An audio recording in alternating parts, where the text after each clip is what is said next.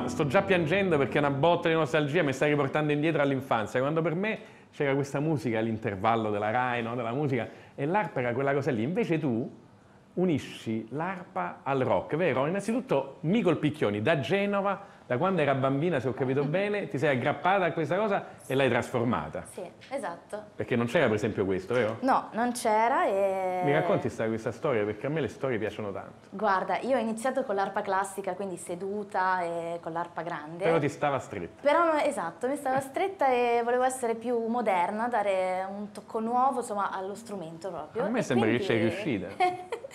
sì, insomma. Nicol Picchioni ti abbiamo visto tra l'altro sulla rete impazzi, vai, hai fatto anche addirittura il contrario dei riflettori, per strada, hai fatto anche vita Sì, on the sì, road. Assolutamente da sì. Basker. Ho lasciato tutto e ho fatto la Baskers per un anno e mezzo, quasi Ma con l'arpa? Con l'arpa. Col carrello. Ah, ecco appunto, arrivo io. Sì, sì, sì.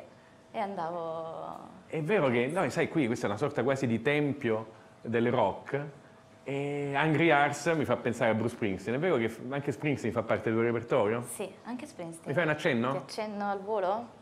Cambio. Ah, cambia perché passiamo dalla, Sì. dalla classica.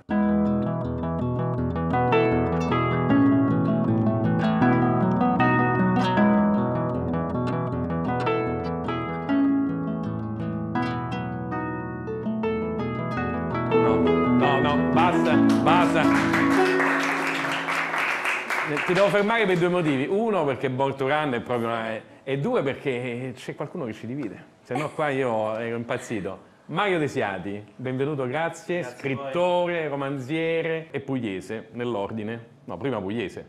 Sempre, grazie dell'invito, buonasera. Grazie, grazie Mario. Tra l'altro è uscito da poco il tuo ultimo romanzo.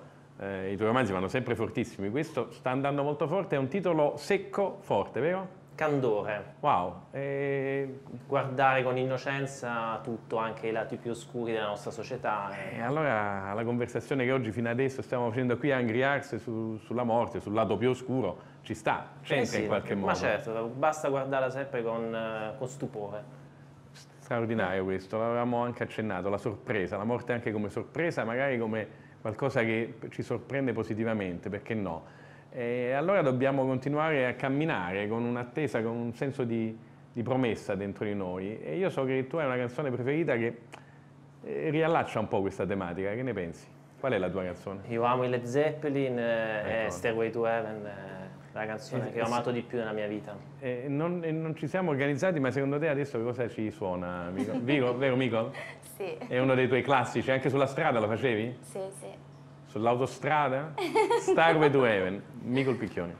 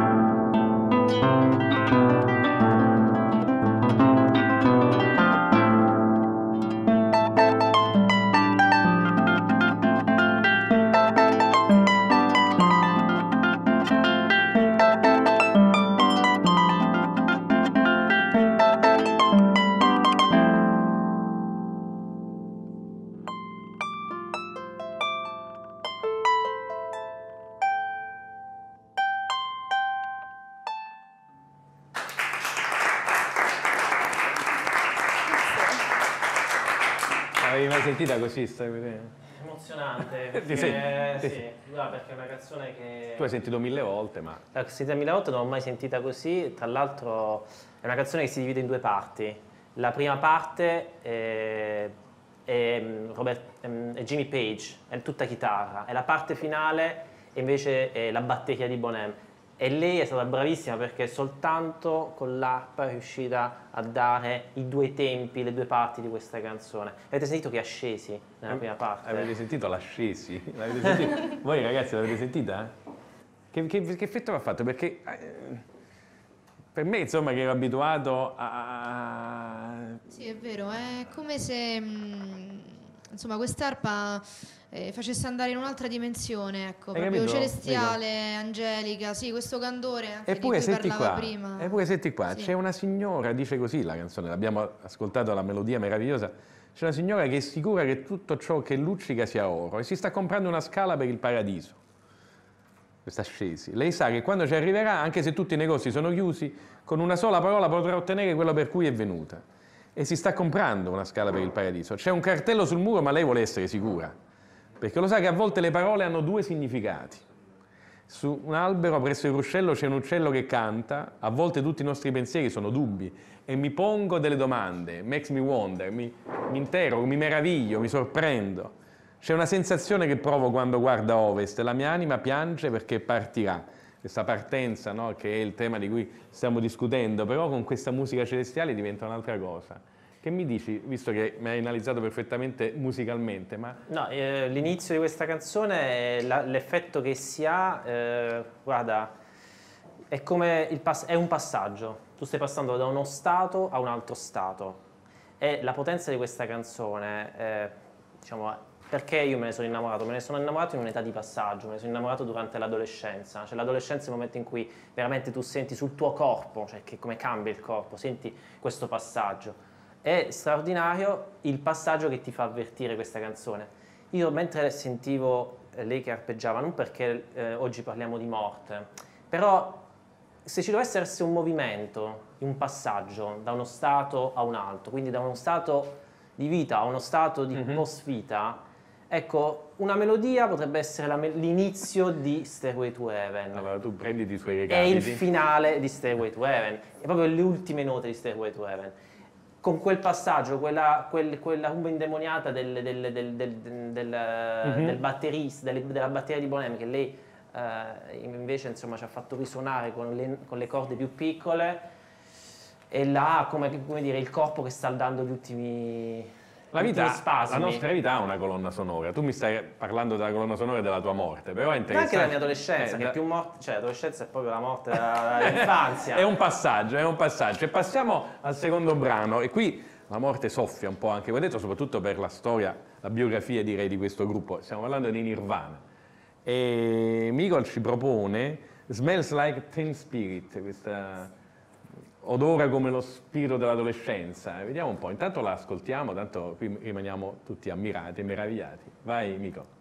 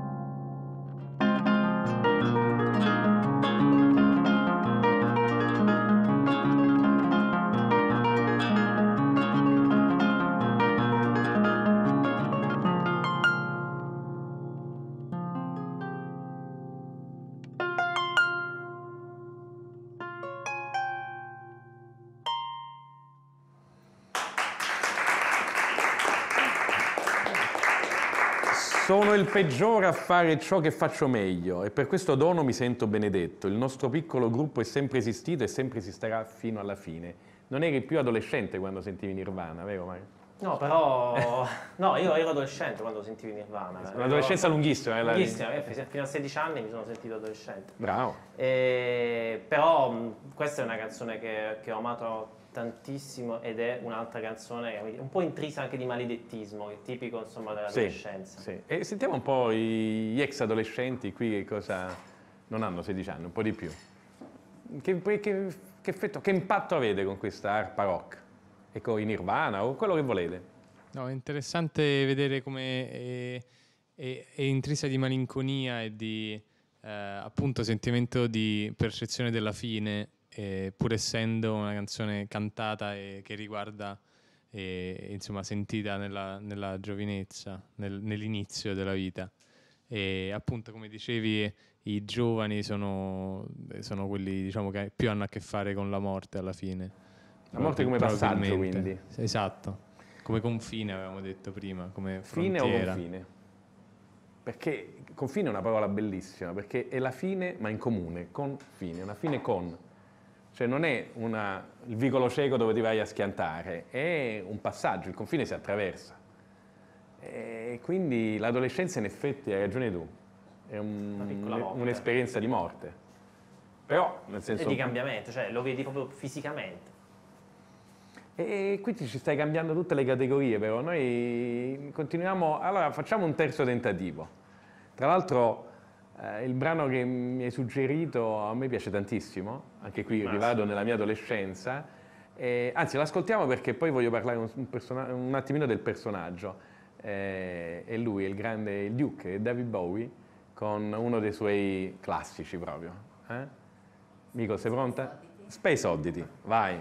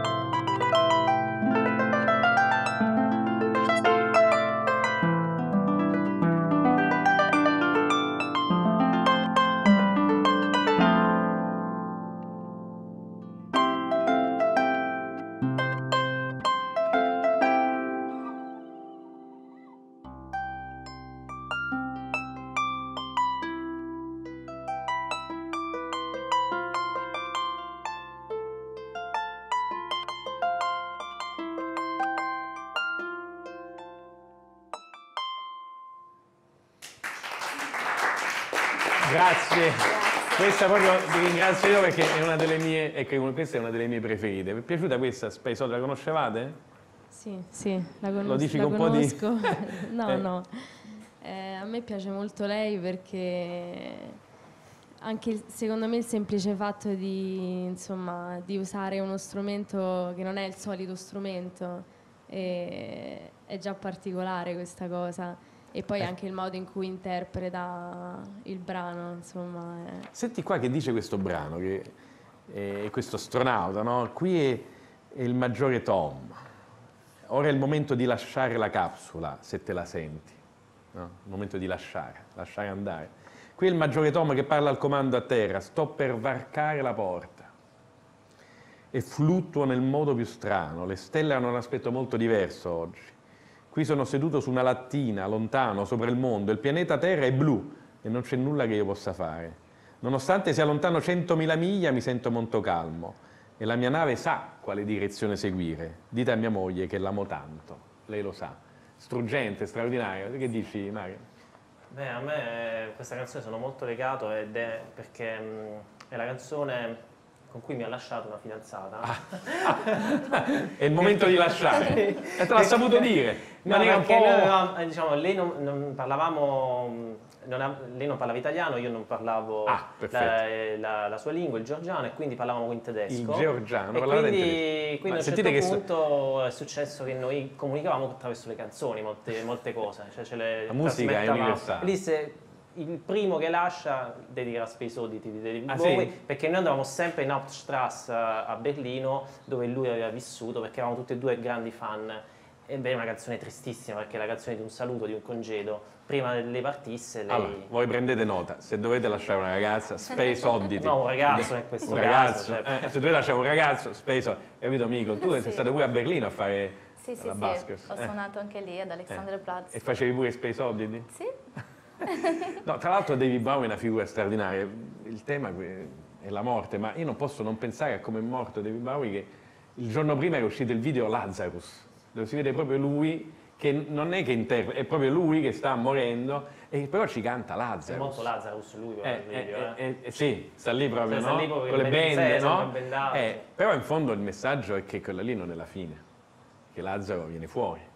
Cioè questo, questo è, David Bowie è, è sempre quello che si è inginocchiato, ha pregato il Padre Nostro no, per Freddie Mercury, cioè è un personaggio secondo me pieno di sfaccettature. Tu vuoi dire qualcosa? Non ti piace David Bowie? No, no, no, Ah, per carità. Se no, se no fuori dal pub, eh? No, mi veniva, mi veniva in mente quello che dicevi proprio di Lazzaro, che io non ho non conosco. Non hai conosciuto questa- Lazzaro o non hai conosciuto No, te? questa David Ah, Bowie che sì, sì, l'ultimo al- l'ultimo album. Ecco, però eh, cioè, forse è proprio questo modo di vedere la morte candidamente, no? Cioè come Candore.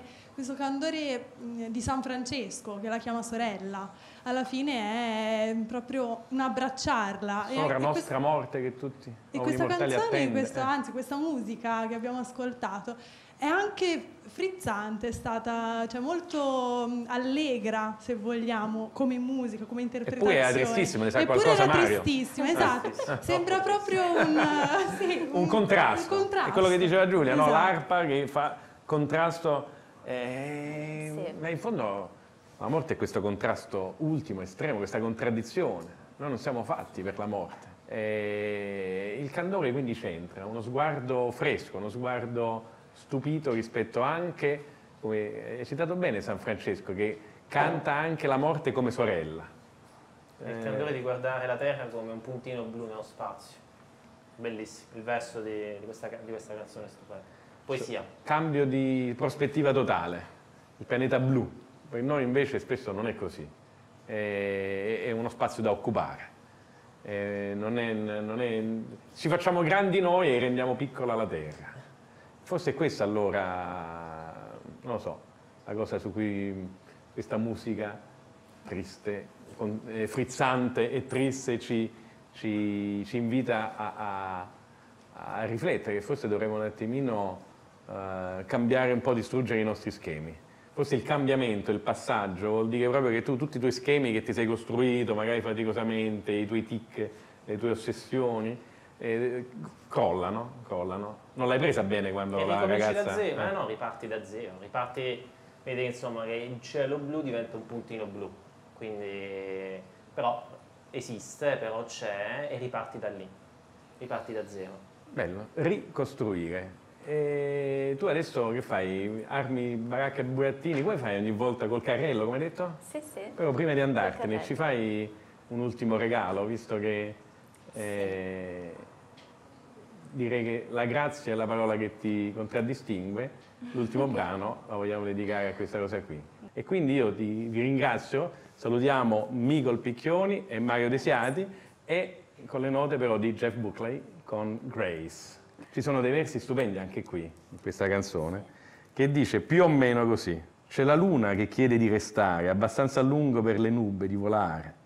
Il mio tempo è a venire, non ho paura di morire. Ecco, la mia voce canta dell'amore. Non ho paura di morire, la mia voce canta dell'amore. Mi sembra la giusta conclusione per questa lunga conversazione su un tema così frizzante, scottante, sorprendente, angosciante, ma anche delicato come il suono dell'arpa. Vai Nicole.